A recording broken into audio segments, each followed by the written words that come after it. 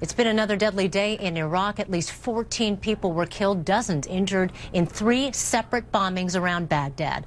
Nine of those deaths were in a busy shopping area in the southern part of the city. Another bombing took place near a Sunni mosque. On Friday, at least 33 people were killed when a suicide bomber blew himself up inside a coffee house in Kirkuk.